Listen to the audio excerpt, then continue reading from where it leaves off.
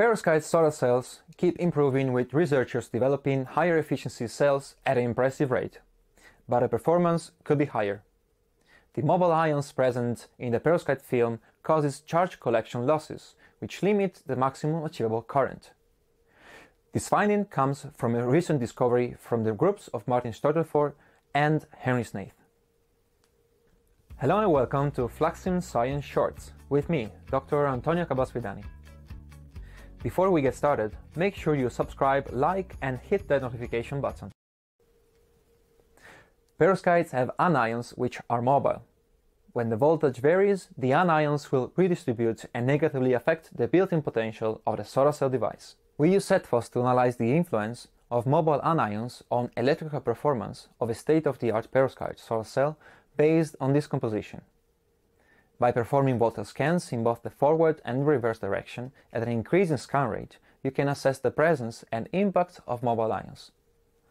Anions have a mobility that is up to a billion times smaller than electrons or host mobility, therefore hysteresis effect occurs at low scan rates. In such case, the ions have time to redistribute within the perovskite film.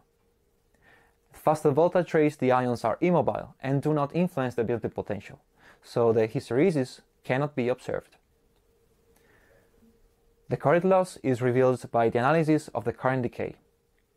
Here, the voltage switches from open circuit voltage to 0 volts, with a sample under continuous illumination.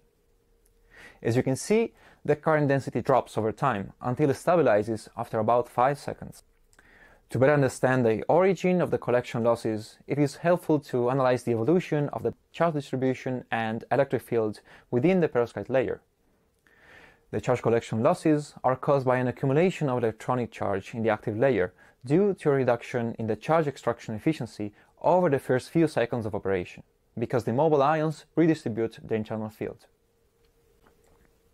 This conclusion is further supported by the transient measurements like BACE and CLIF, which we will discuss in another episode of Fluxim Science Shorts. Thanks for watching, and if you have any questions, please remember to leave them in the comment section below.